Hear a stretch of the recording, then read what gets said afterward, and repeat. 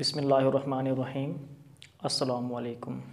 Dear students, today we will discuss about of haplodiplo biotic life cycles.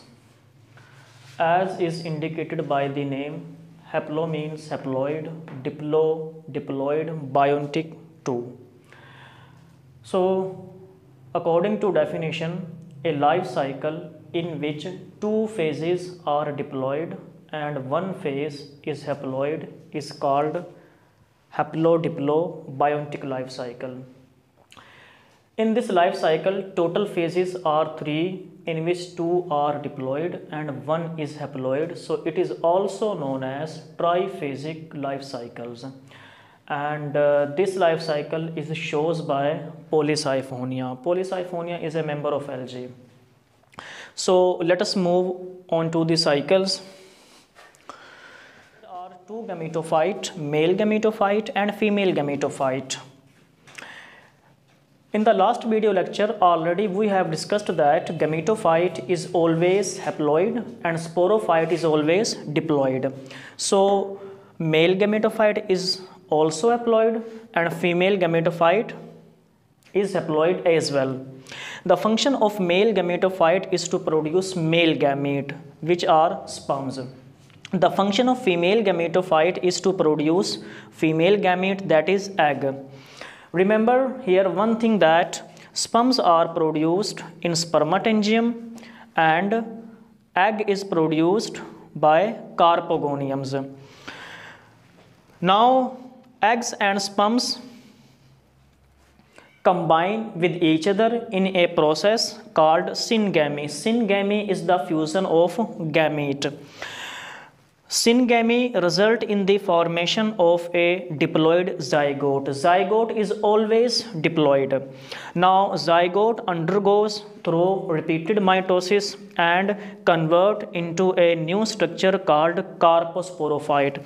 Function of carposporophyte is to produce carpospores carposporophyte is a diploid structures and uh, its function is to produce carpospores and you know that spores are produced in sporangium. If these are carpospore so these are produced in carposporangium so carposporangium produce carpospores and carpospores undergo through germination because the function of spore is to germinate and carpospore undergo through germination and give rise to the birth of another new structure called tetrasporophyte.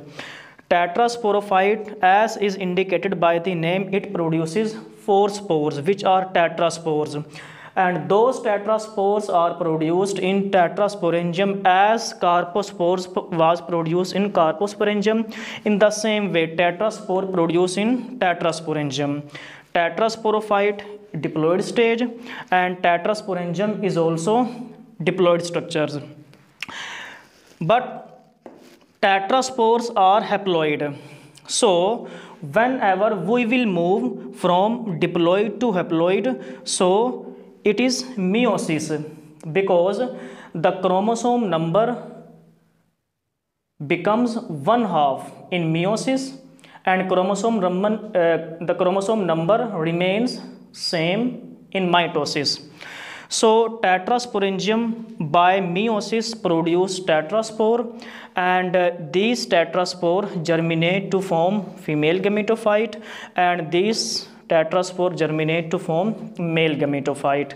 Now, in this life cycle, there are three phases out of which two are diploid and one phase is haploid. Gametophytic phase is haploid and carposporophyte and tetrasporophyte phase are diploid.